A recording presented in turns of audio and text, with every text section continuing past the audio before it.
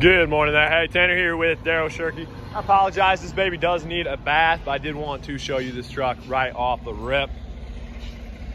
You get the fog lights up front. Seems to be pretty darn clean, no scuff. In terms of underneath there for you, he is parked directly underneath The sign or in front of the sign, my apologies. Beautiful thing about YouTube, I'll get an angle from the back, but you can press pause at any time if this isn't cutting it out for you.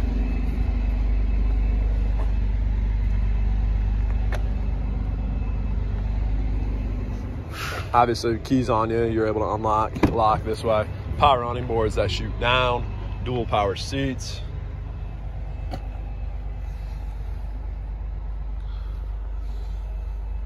Everything at your fingertips in terms of that adaptive cruise control into radio control on the steering wheel. Panoramic sunroof that spans the entirety of the cab. Obviously, fuel door on the driver's side. Back seat incredibly, incredibly clean.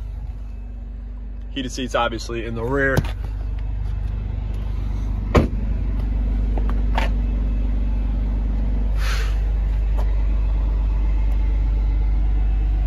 Like I said, needs a bath. Not denying that. Blind spot in the radar. Does look, I might feel a little bit like very, very, very, that probably rubs out right there. No dent, just literally a scuff mark right there. In terms of the bed, very unique. You do get that tailgate step as well. You look underneath there for you. Spare tire, obviously.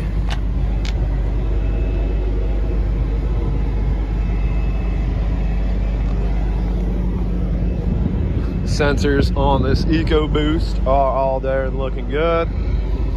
Body wise looks clean as well, just simply needs a bath.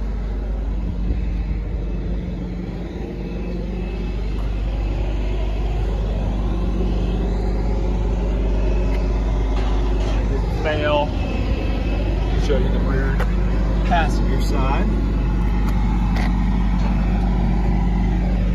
Hey, appreciate your patience. Usually it's a lot easier than that. We have ample trucks on the lot, but when the owner's driving it, the owner's driving it. So appreciate your patience. Hopefully you've had a great week. Hopefully see you come tomorrow, hopefully, or Monday. So appreciate you. Chat soon.